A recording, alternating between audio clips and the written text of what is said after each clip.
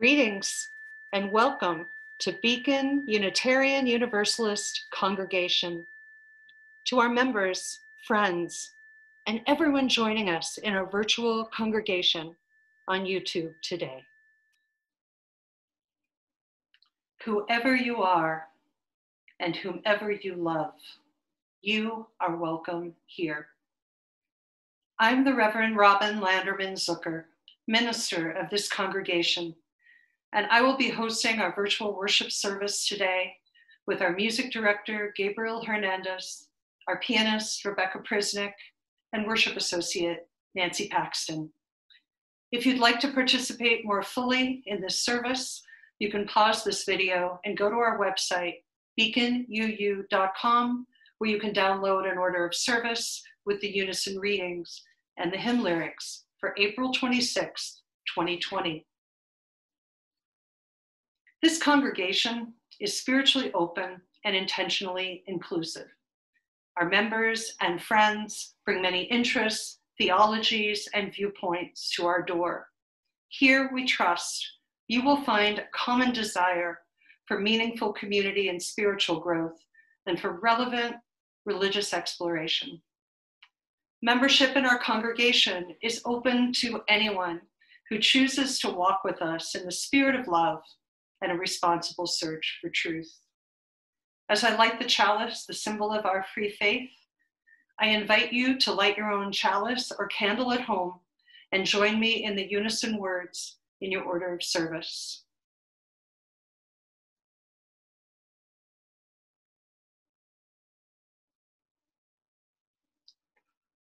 We light this chalice with a flame that draws us together with this flame, we cut through the darkness of isolation and are warmed by the fires of our interconnection.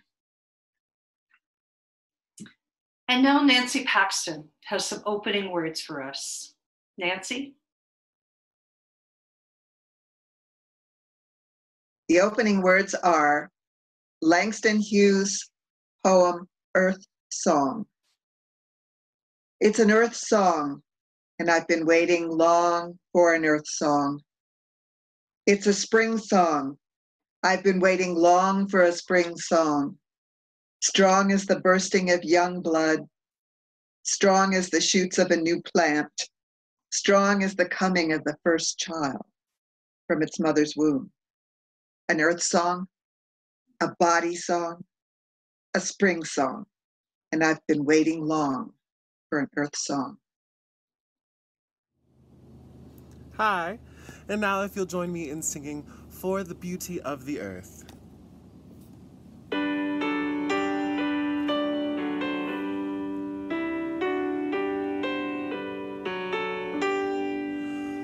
For the beauty of the earth, for the splendor of the skies, for the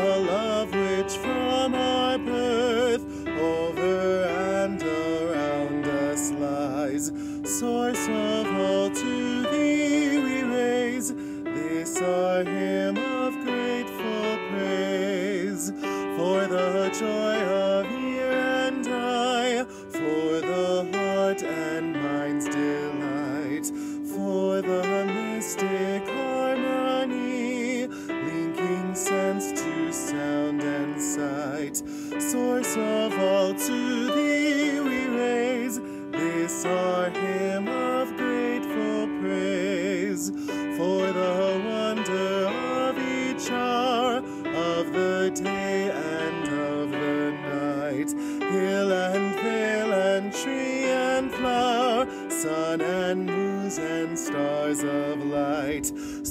of all to thee we raise. This our hymn of grateful praise. For the joy of human care, sister, brother, parent, child, for the kinship that we share, for all gentle thoughts and mild, source of all to thee we raise. This our hymn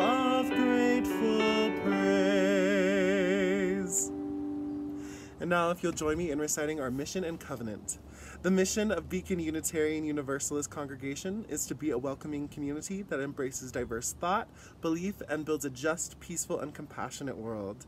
Love is the spirit of this church, and the quest for truth is its sacrament. The service is um, to dwell together in peace, to seek knowledge and freedom, to serve humanity in kindness. Thus do we covenant. Thank you. Now is the time in our service when you're invited to share a personal joy or sorrow in the supportive fellowship of this community. With each joy or sorrow, I drop a stone into this bowl to mark our connection to one another, even when we are, apart. Although no specific joys and sorrows were sent to me this week, I will drop a stone for all of us and how we are striving to endure in the midst of the coronavirus circumstances, locked down, separate from one another, wanting to stay safe, wanting to stay connected. For all that we know who have been affected by the virus, who are sick, who have been sick, who we worry about, who may be isolated or alone, we drop a stone for them for all of the essential workers and all the frontline workers who are doing so much for so many at their own peril, we send them healing love and light. For all the concerns people have about their finances, their jobs, and their families, those who are worried about their children or feel sorry for what they have had to miss by being isolated from their friends and their school, we drop a stone for them. And for the many joys that we still continue to find and feel, even in this difficult situation. The beautiful sunshine, the blue sky, Zooming with our friends and family, believing that on the other side of this we will be whole and connected. We drop a stone for all the joy, all the hope that remains in the world. And finally, for all those joys and sorrows that remain unspoken, because they are either too tender or too private to share.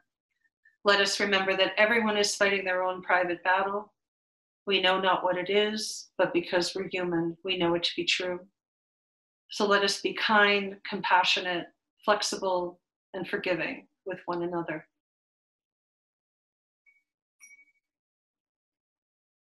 And now I invite you to come into a quiet, reflective place where you can uncross your arms and uncross your legs and just feel a sense of quiet within. The way to get there is through intentional breathing. Breathing in four beats through your nose and four beats out through your mouth in a steady rhythm. So just breathe. It's so often that we aren't really breathing very intentionally and we wonder why we feel so tight and so tense. Create spaciousness with your breath. And just breathe. Just breathe.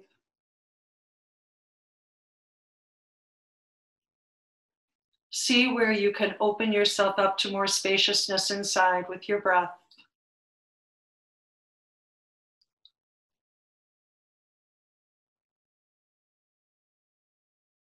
And just breathe.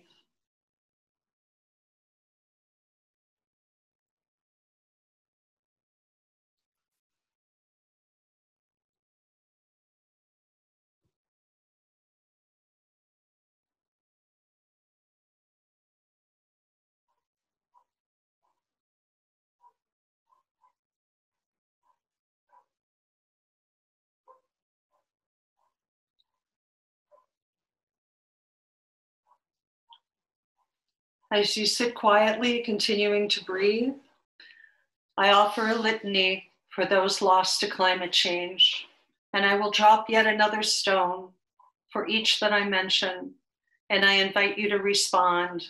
We remember them. We take this time to acknowledge all those already lost as the world feels the effect of global warming and climate change. Thousands of people, as well as animals and plants, die every year from the effects of environmental damage. As we acknowledge those lost, please join in responding. We remember them. To all those people lost to extreme heat waves, we remember them. To all those lost to floods, hurricanes, mudslides, and other disasters caused by changing weather patterns, we remember them. To all those lost to hunger as crop patterns change, we remember them. to all those people lost to drought due to climate change. We remember them. To all those lost to disease as the environment shifts, we remember them.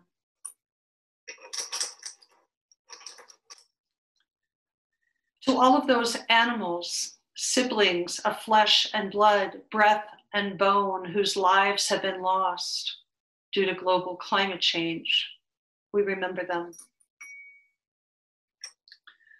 To all of the plant spirits, siblings of the green world, whose lives have been lost due to global climate change, we remember them.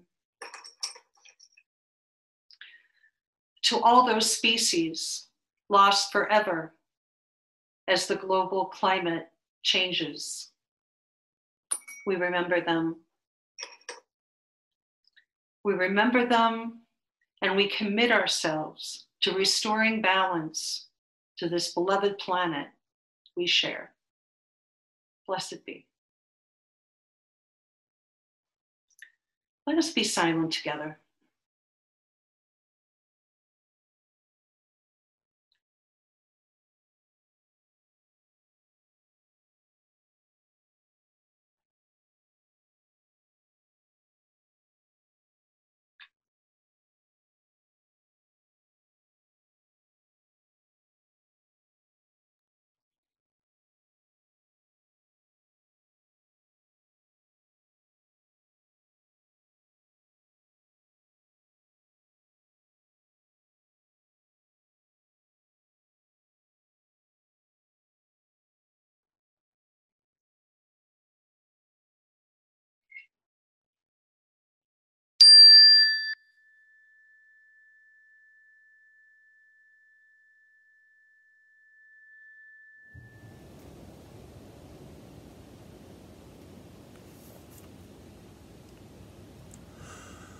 Ancient Mother, I hear you calling. Ancient Mother, I hear your song. Ancient Mother, I feel your laughter. Ancient Mother, I taste your tears. Ancient Mother, I hear you calling. Ancient Mother, I hear your song.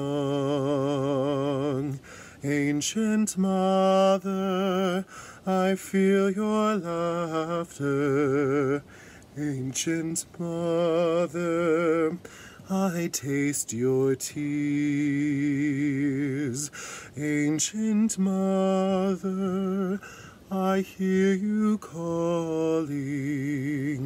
Ancient Mother, I hear your song. Ancient Mother, I feel your laughter.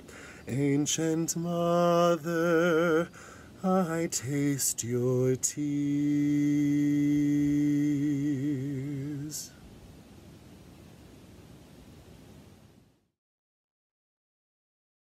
Our reading today is We Too How Long We Were Fooled by Walt Whitman. We too, how long we were fooled, now transmuted. We swiftly escape as nature escapes. We are nature, Long have we been absent, but we now return. We become plants, trunks, foliage, roots, bark. We are bedded in the ground. We are rocks. We are oaks. We grow in the openings side by side. We browse. We are among the wild herds, spontaneous as any. We are two fishes swimming in the sea together. We are what locust blossoms are. We drop scent around the lanes, morning and evening. We are also the coarse smut of beasts, vegetables, minerals. We are two predatory hawks. We soar above and look down. We are two resplendent suns. We it is who balance ourselves, orbic and stellar. We are as two comets. We prowl, fanged and four footed, in the woods. We spring on prey. We are two clouds, forenoons and afternoons, driving ahead. We are seas mingling. We are two of those cheerful waves rolling over each other and interwetting each other. We are what the atmosphere is transparent, receptive, pervious, impervious. We are snow, rain, cold, darkness. We are product and influence of the globe. We have circled and circled till we have arrived home again. We too, we have voided all but freedom and all but our own joy.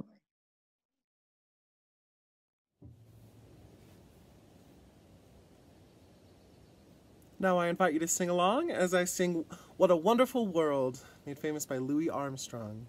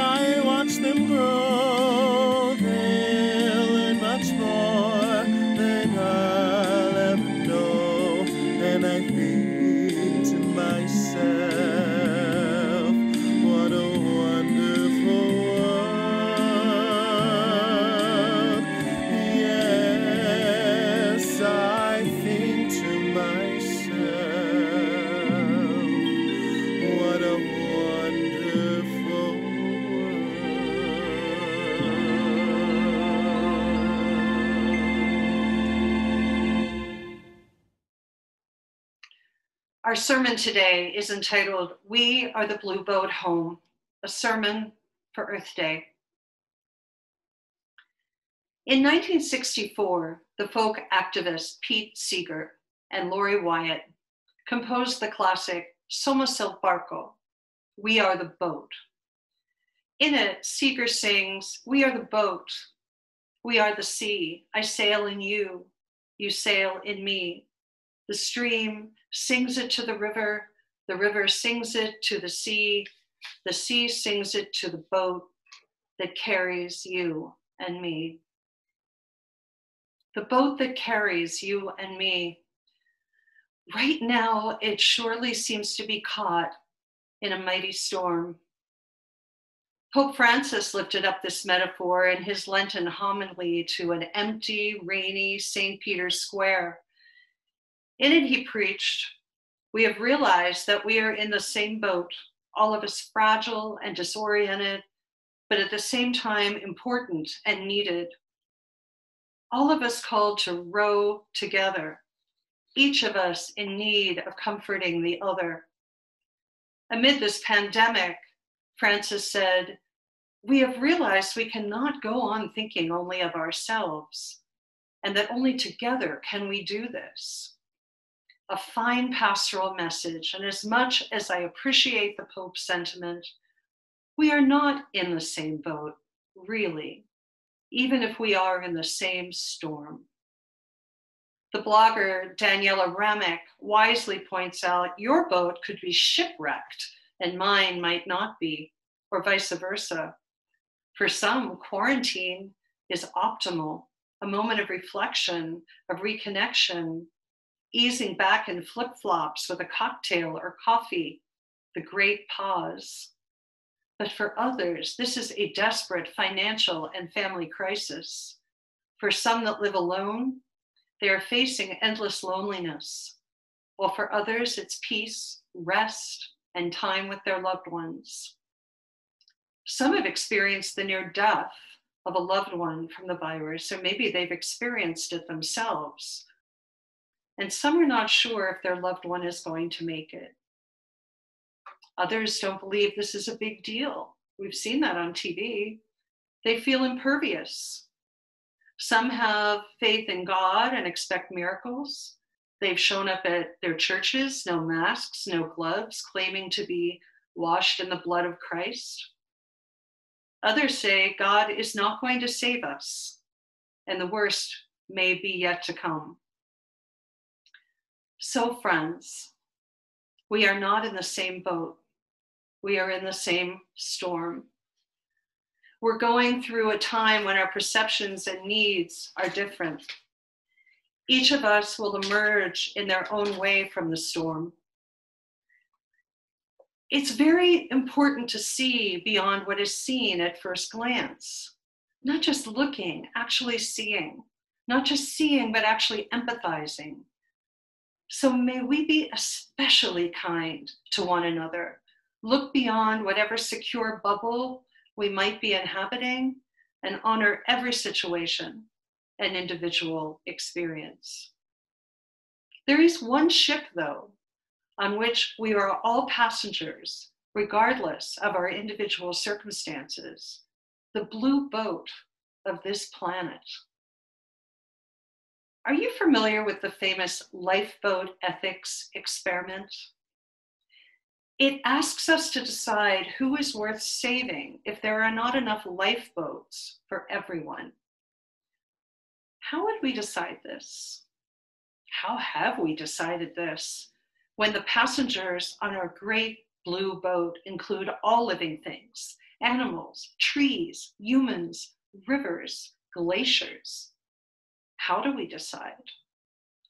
who has the right to decide between a modern way of life that pollutes our planet or shared sacrifices that forestall human extinction?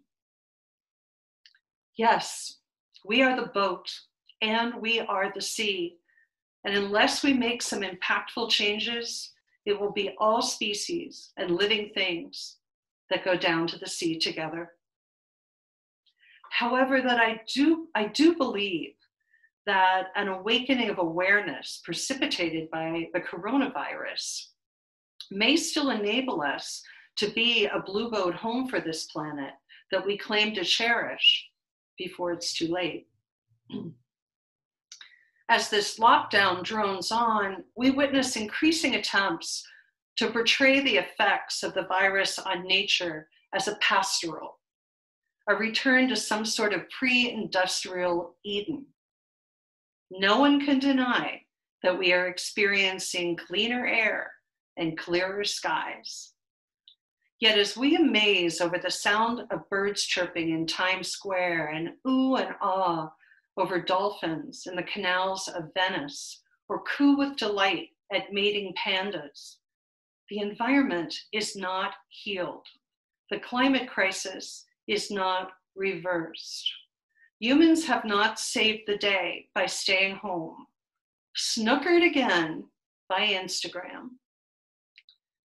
The New York Times writer Amanda Hess calls this the rise of the coronavirus nature genre. She notes I don't know if panda sex is truly facilitated by the averting of human eyes, but I'm clinging to this idea. Humanity has been shuttered indoors, but our media feeds are overgrowing with tales of a revived natural world. Hess drives home the point. These fantasies, she said, are not about humans living in harmony with the natural world. The people who have decamped from cities to live in the countryside, cultivating sourdough starter and leading their broods on nature walks, are eyed with suspicion. The nature images that have captured our imagination rest on total human exile it's not a pastoral vision, it's a post apocalyptic one. A Los Angeles Times article on Yosemite without visitors described the landscape as an imagined future where the artifacts of civilization remain with fewer humans in the mix.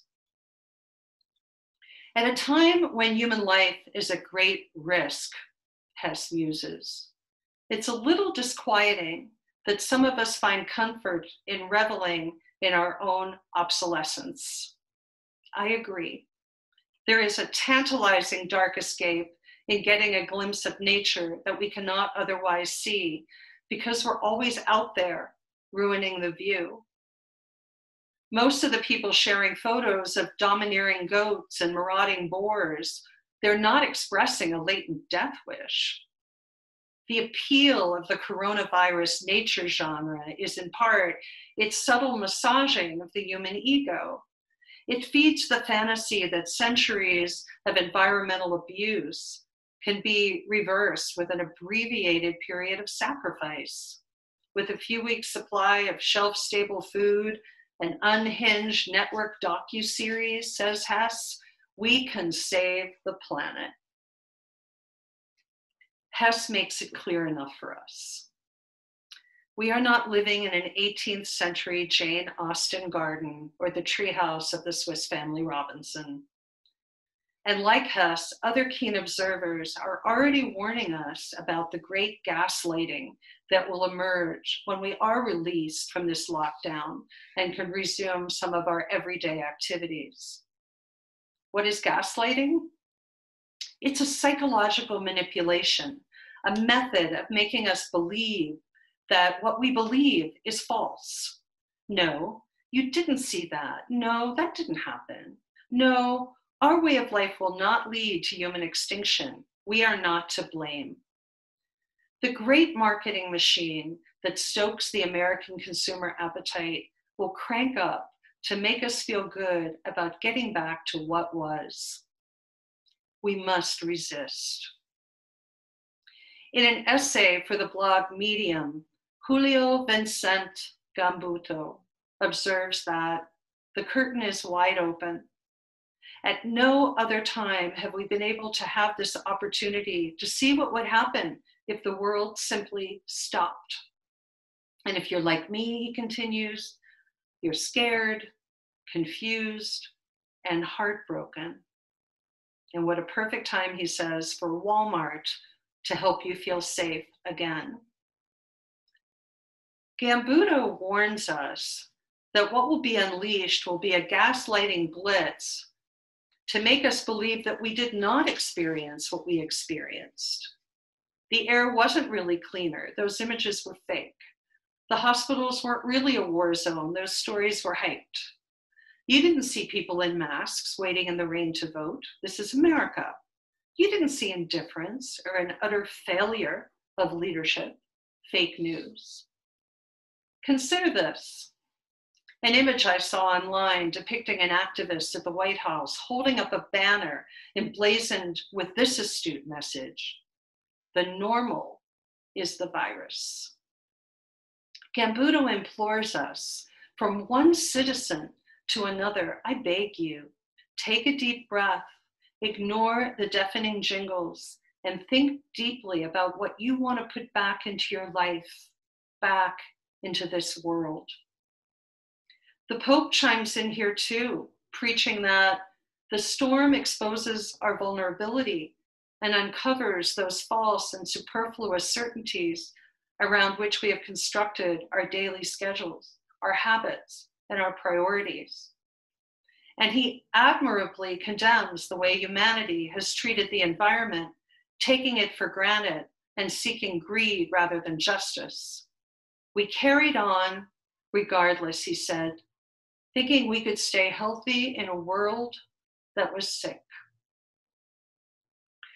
The Pope's blunt declaration is all the more potent given the hubris in the Judeo Christian tradition regarding our relationship to the natural world.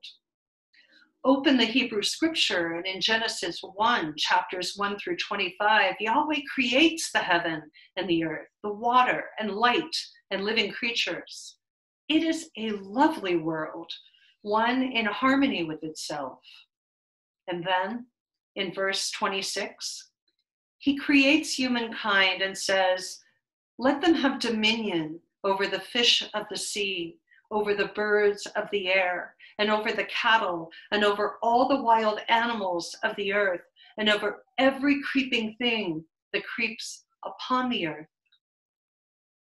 he goes on to encourage Adam to fill the earth and subdue it. He tells Adam, Look what I have given you to rule every green plant, every beast, every bird, everything that has the breath of life. Perhaps Yahweh might have stopped for a moment of reflection at verse 25. For see just how far we have drifted from a place of balance with nature, from reverence and respect for the air, the bud, the river, every creeping thing that creeps on the earth. Even before the virus, we've been in a kind of self imposed quarantine from right relationship to the earth. Did you know that the word quarantine is from a Venetian word meaning 40 days, originating during Black Death as the amount of time a ship's crew had to stay on board before going ashore. The term has biblical roots too, as part of Mosaic law in Leviticus, although the term of quarantine is seven days. From a religious perspective, that number 40 is familiar and significant.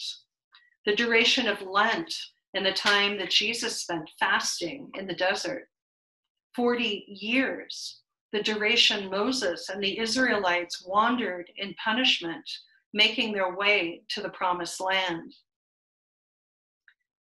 We are in the desert now, and it has been about 40 days since we began this mandatory stay at home period here in Flagstaff and everywhere. What have we learned about our footprint on the planet?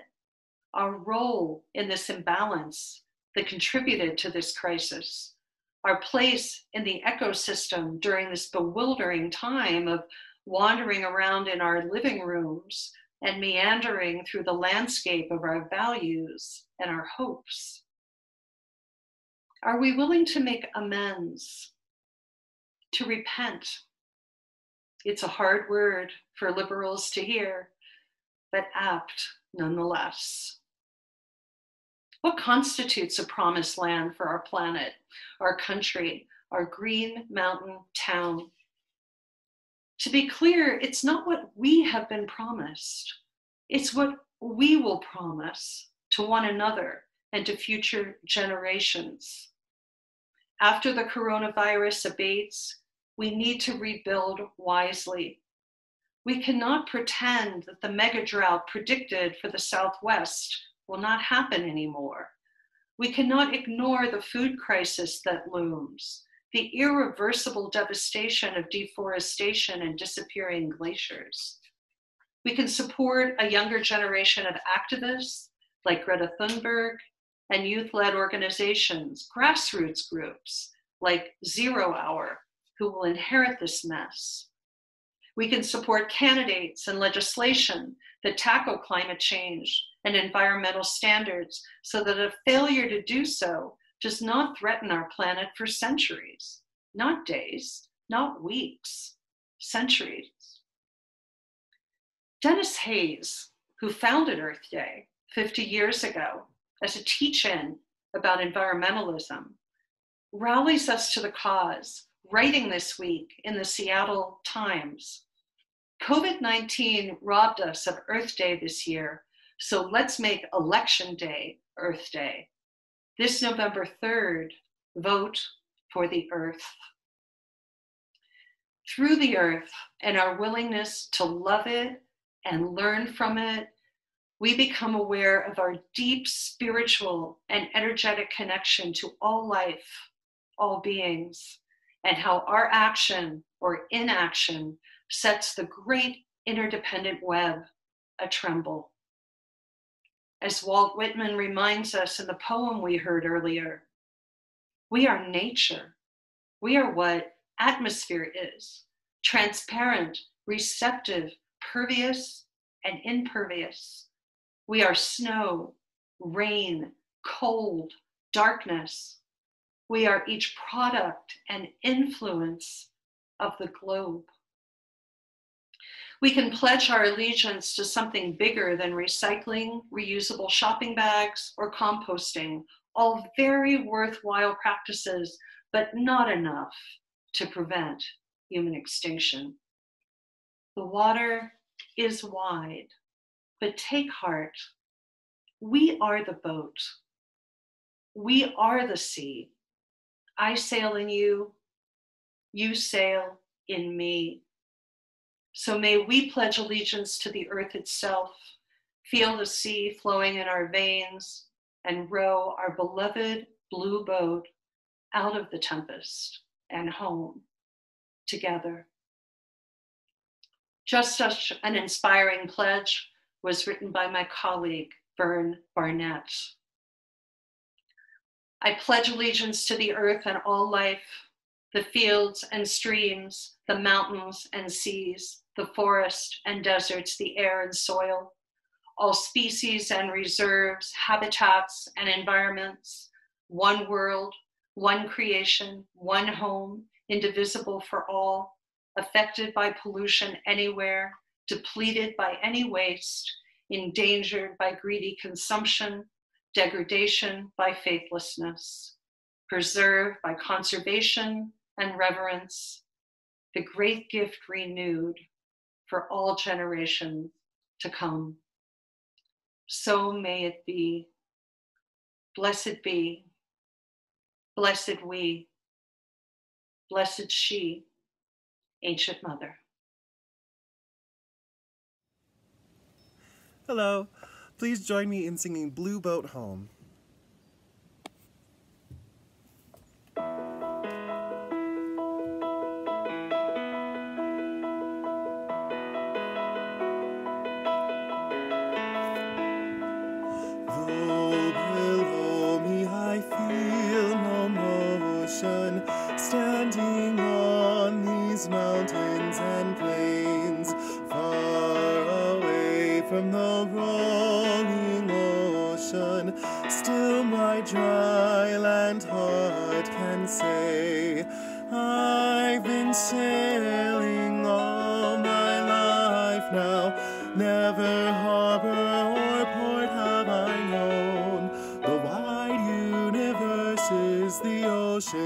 Travel, and the earth is my blue boat home.